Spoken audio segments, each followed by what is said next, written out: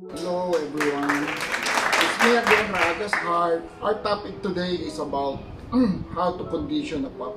so, when it's more than one month, eksakto, ito na pinapakain ko, pyramid. Parang madali lang timplahin, bubuksan ko lang isang lata. Tapos, bibigyan ko na itong mga tuta ko. So, instead of pellet, ito na. At least ito, uh, pure beef or lamb. Tapos, at the same time, pagka 2 weeks, deworming. 1 month, deworming. Tapos, on the second month, bali 8 weeks, deworming. So, habang nasa iyo yung tuta, bibigyan mo siya ng treats. Ito, ito ginagamit ko. Yung treats na to. Yung happy. Para at least, nag, habang nagtititing sila, yan ang ginagamit ko. Tapos, pagka kinuha na ng buyer, ito binibigay ko kaysa magbibigay ako ng pellet. At least, madaling timplahin, alam mo yun, scoop ka lang, tapos bibigay mo na sa tuta, eh gustong gusto naman. So, yun, kasi marami nagtatanong, paano daw ako mag-condition ng puppy.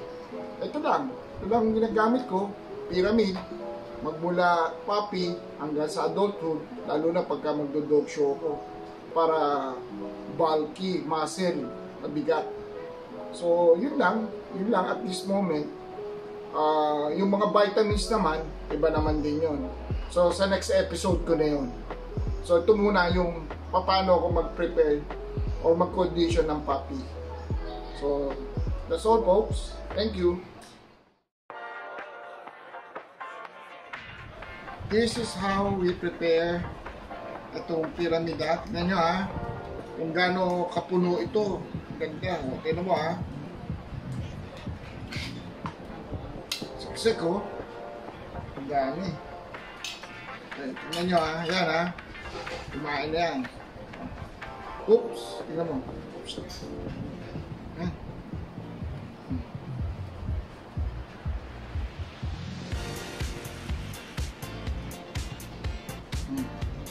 Ano? Hmm. Kumain na yan. Grabe oh. Saan mo sasabihin hindi gusto yan? Lambi yan. Laki na lang siya niyan. Gusto, gusto. Yan ang maganda lang dito sa pyramid. Kahit kumain na, kumakain pa ulit. Pero huwag naman masyado marami.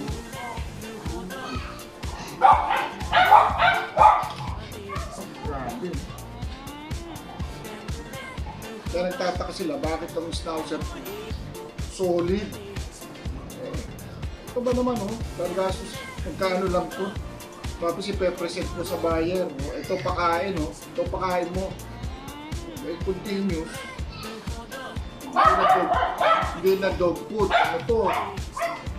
Ah, sariwa-sariwa ito. Talagang lamb ito. Kaya ito lang nagustuhan ko rito kasi puno. Yung ano, hindi puno eh. Ibang brand. Ano mo, gustong gusto. Ubusin yan, sigurado.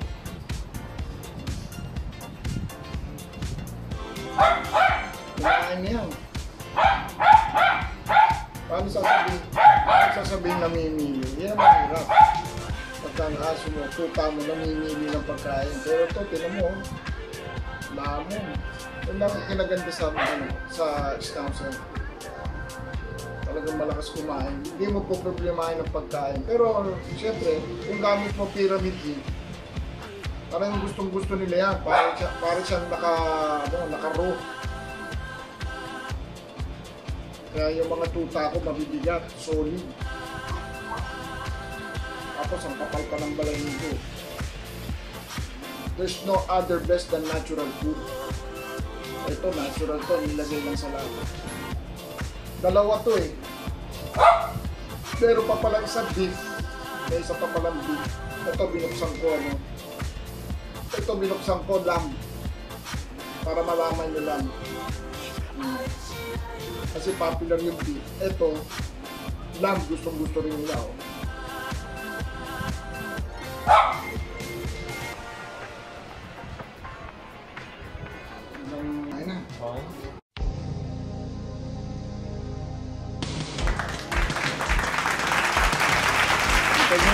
Yung brand ko. Ito, ang pinapakain ko sa mga tuta ko rather than dog food pellets. Kasi nga, ito at least protein, sigurado ko na protein na tsaka fresh from the farm. Binili mo ng buyer, binibigay ko to. Ito na yung dog food. Ito yung dog food ko sa kanila. Mas madali pang kanawin. Hindi katulad na mag-iinit pa mo ng tubig para mag-soften yung pellets. Ito hindi, bubuksan ko na lang, pakakain ko. Eh, katulad kanina. Kita mo kung gaano ka gusto-gusto mo si Cookie. Ang may-ari nito, si Mr. Tony Lauren. Mapupunta sa kanya ngayon.